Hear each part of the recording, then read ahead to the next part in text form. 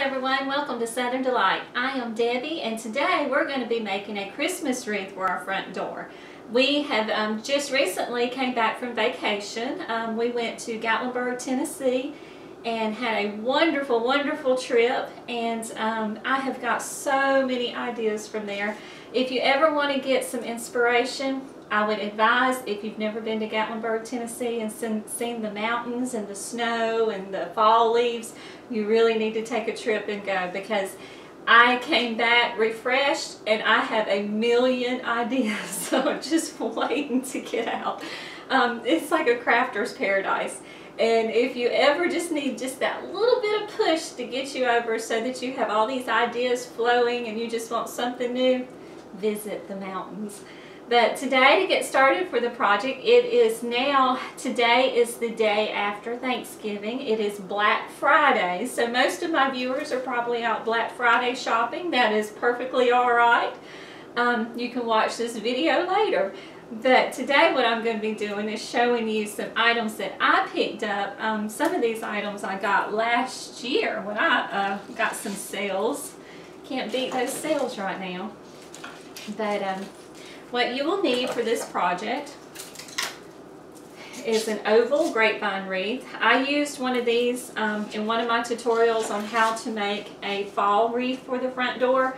I absolutely love this oval shape and um, I'm going to use it again for my Christmas wreath. This one happens to be a 15 by 23 inch.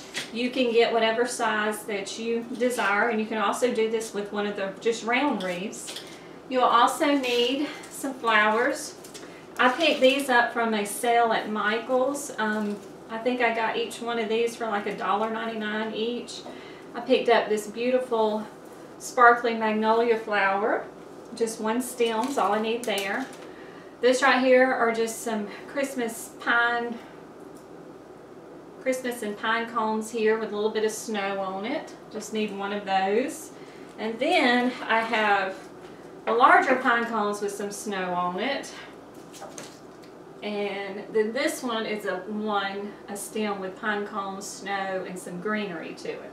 But all I need is just the four of those. I'm going to be using the letter P. You can use your initial there. And you also need some ribbon. So I've got my ribbon here. And what I'm going to start doing is um, clipping these down. I always just give you an idea and just lay the pattern out to start with. So I'm bending them and usually when I bend them it kind of gives me an idea where I need to cut them. Of course the flower here I'm going to put in the center. I'm going to see, I'm going to lift this up so you can see what I've done here. This is the placement I'm going to use. I'm putting the pine cone with the greenery on this side the Christmas tree greenery on the other end. The pine cones that have like a bunch of the pine cones here, we're going to lay kind of going up at an angle on the side a little bit. Most of them are going to be going toward this other side with the rest of the pine cones. Then the flower here, we're going to put in the middle. And then what I'm going to do is take the letter here and put it on this side with the bow hanging down here. And this is what we're going to start assembling. So now that I've showed you the placement, we're going to just start cutting. And what I did was I bended, I bent the stems so I know where to cut. I'm going to start clipping. Alright, we've gotten everything trimmed down and um, I went and picked up some floral wire and we will get started wiring this in. So we know where our placement's going to be and I'm going to start with the pine cones here. Just going in on this side here. And I'm going to just take it and take this stem and just kind of poke it in the wreath down here at the bottom like so. And then I'm going to go back and I'm going to wire in these other little areas. I've got one little piece right up here that's sticking out. We're going to give him a quick clip. This is real good.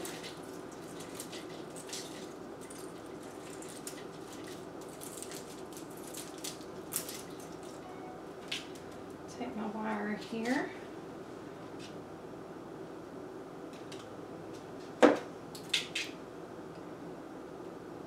I like this, wire is really thin, so I like to bend it. Of give it a little bit more, it a little bit more sturdier.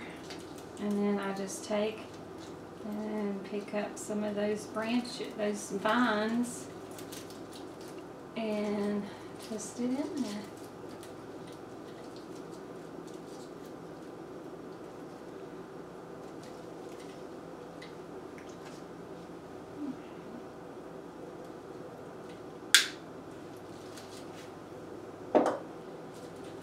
Usually you can just space it out. You don't need to do a whole bunch of wiring on this because when you poke it in, it secures it. I'll probably do one about midway and then one closer here. And um, off another piece. Actually, I think this one only needs probably two. Once I secure this big piece here I think he'll be safe.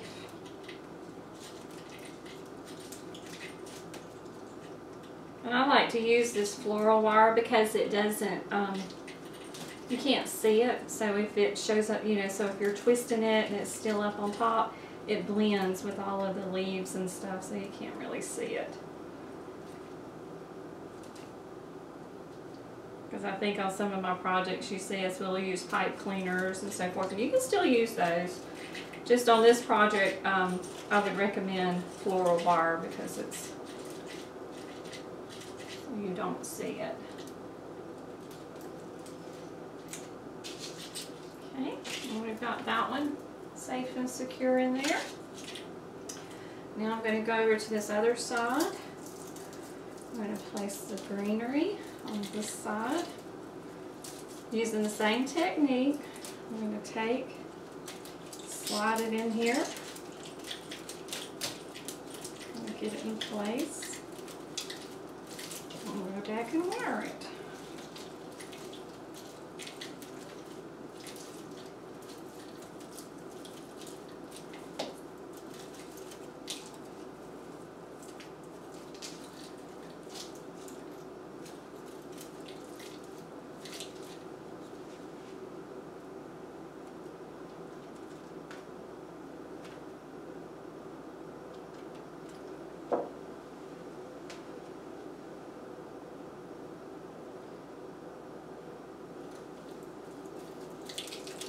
Same technique. I'm just grabbing a bunch of these little vines like this, taking the wire and going up underneath them. Something like this. Fold that down like so, and then just twist. It just holds it securely in place and then clip off the excess.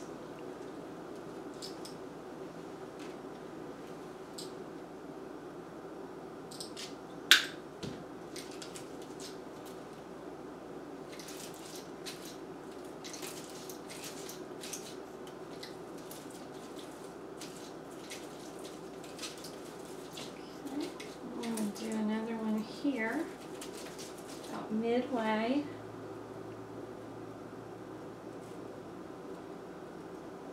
Hopefully your floral wire doesn't look like mine. I don't know what happened to it. I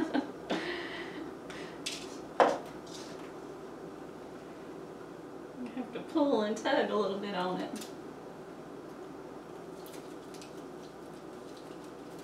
That's what happens with extensive use.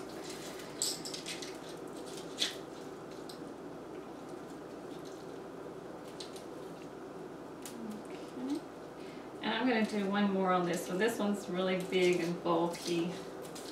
we've got some kind of sticking out over here to the side. I'm going to do one on the side here just to secure this little guy. If I can get some of this wire undone.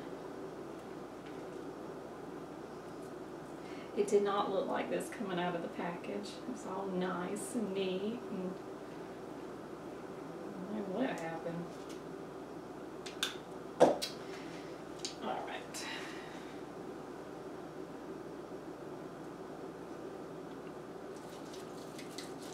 grab some in here.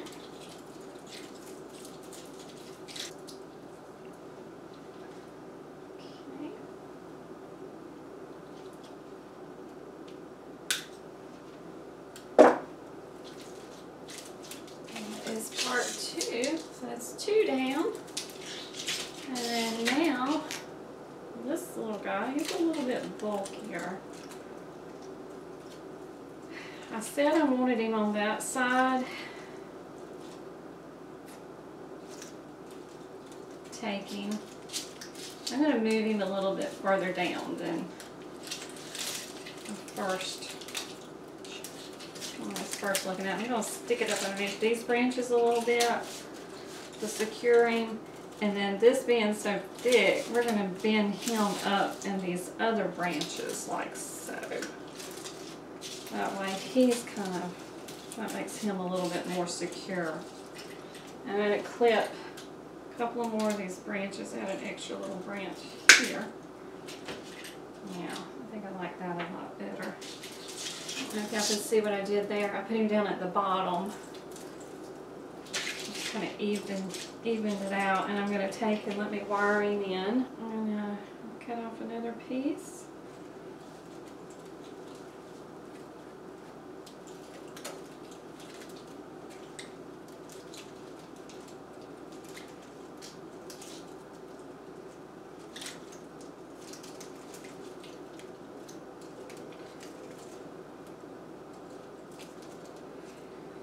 But while we were in the mountains, we got to see snow up on the mountains. It wasn't a whole lot. We probably only got a few inches, but I got a chance to make a snowman and um, see some frozen water coming off of the mountain and saw huge icicles and there's a lot of white and um, on top of the green and stuff and it kind of just inspired me for this project because um, I'm not using the traditional Christmas colors.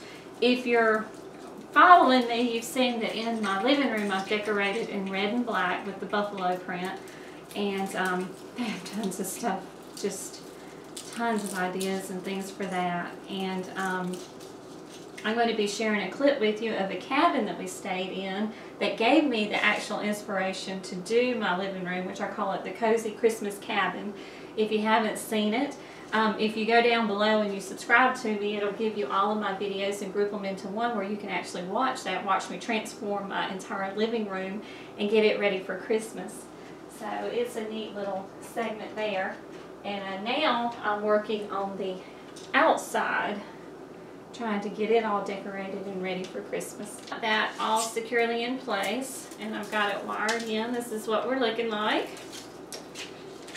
And for the next I'm going to take this beautiful sparkly magnolia and I'm going to put it down here on the bottom part up above the pine cones. Poked it down in there. Sometimes I go and use my hot glue gun to secure these. Um, this project I'm not going to. A lot of times I'm finding the hot glue is not holding as well as I'd like. So I'm just doing a little bit of extra wiring when it comes to it. And a lot of times if you take these stems and you bend them and wrap them, they stay in place. Um, they don't go anywhere. And if they do, just take and bend it back in place. Now do some wire with it. This one, I just twisted it around. Check it in there. And then the leaves, I kind of just tucked down under the pine cones a little bit. Like that. Put it right here. Now, I'm going to take our P, and I'm going to lay the P right here just above the green foliage, and I'm going to do it kind of sideways, give it a sideways feel, and then we're going to wire it in here. So I'm going to make a bow.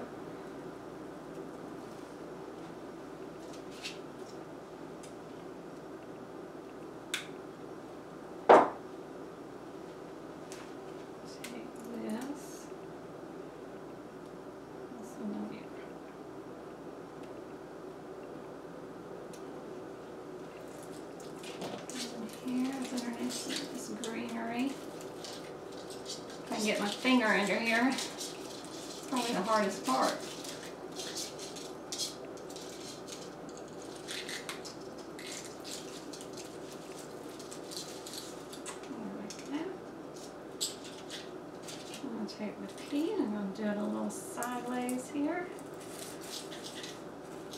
This, I'm probably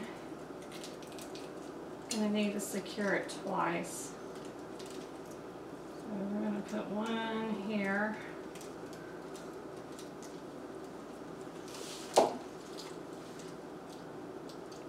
And I've twisted it this way. I think with this one we're going to put in a second one here. Kind of close to the bottom area.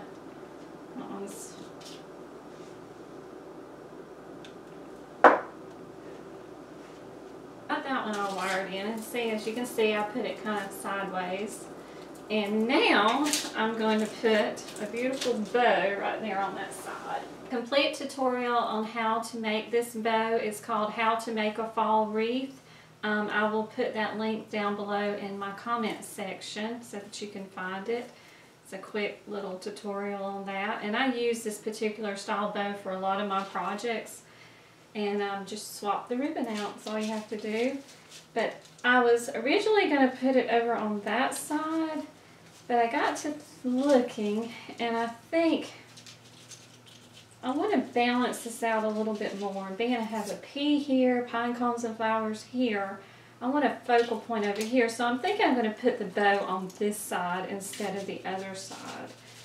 And um, we're just going to wire it in here real quickly.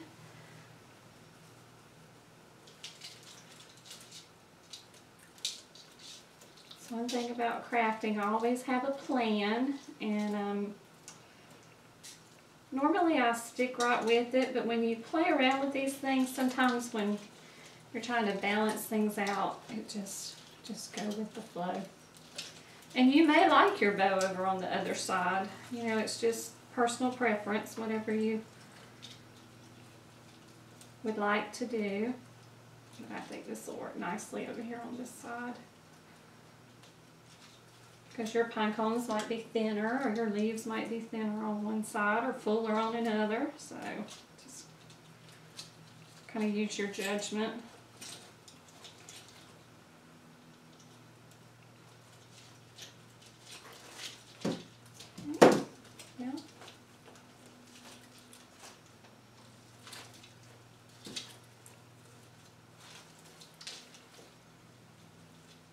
And I most of these items on sale. Um, so I don't think I went over $30 on this wreath. Um, $30, $35 I think in all the materials and so forth and just a little bit of time and effort. And it doesn't take a whole lot. Um, usually I can do these wreaths in probably under 30 minutes. So, um, and then what we're going to do, let's see voila, there you have it. Now I'm going to just take and put some wire here and we're going to hang this wreath on my front door. Alright everyone, this is my completed project. This is what I chose to go on my front door. But um, if you'll stay tuned, I am going to show you four different ways to do this one wreath by just swapping out the bows that are there and the flowers. You can just add your own little personal touch there. And um, if you will, just down below, comment and let me know which one is your favorite.